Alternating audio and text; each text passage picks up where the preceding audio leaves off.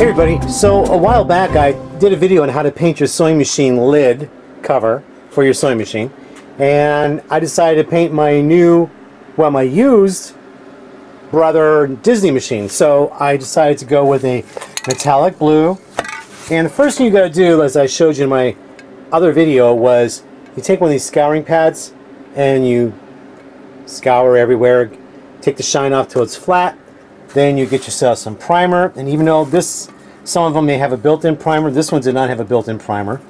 So this color had a pretty pretty blue, but it wasn't a metallic blue. I like the metallic blue. So I got the metallic blue, and look how pretty that is. Sprayed it. Isn't that pretty? And here it is on the machine.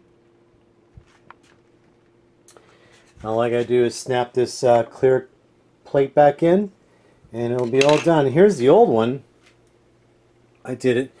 As I was saying, this is not a metallic blue. I might redo this. I might spray paint this over. So it matches this one.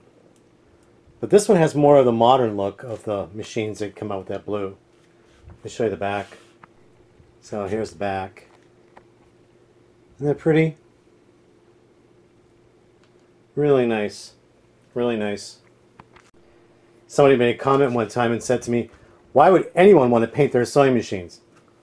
My answer is because you can, because it's personalized, and because you know how, if you know how.